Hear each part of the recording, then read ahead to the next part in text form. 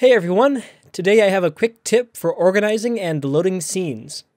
As your Unity project grows in size, you may notice that you're wasting a lot of time searching through the Project tab to find the scene you want to load. I came across this idea working with the Batbarian team, and it has saved me so much time and mental effort.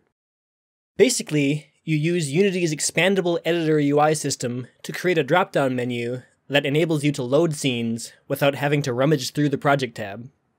Let's see how this works. First, we have an enum for all the scenes in the project we want to load.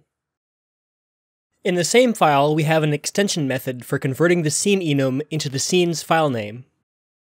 In a separate file, we have a method called openScene that takes a scene enum, generates the file path to the scene file, and loads the scene in the editor.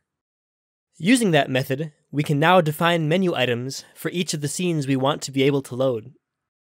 And that's basically it. If you want to bind keyboard shortcuts to these menu items, you can do so by adding a special string to the end of the item's name. In this example, Control plus 1 will load the splash screen scene. A working example project is available on GitHub, so check the link in the description. I hope you find this as useful as I have, and thanks for watching.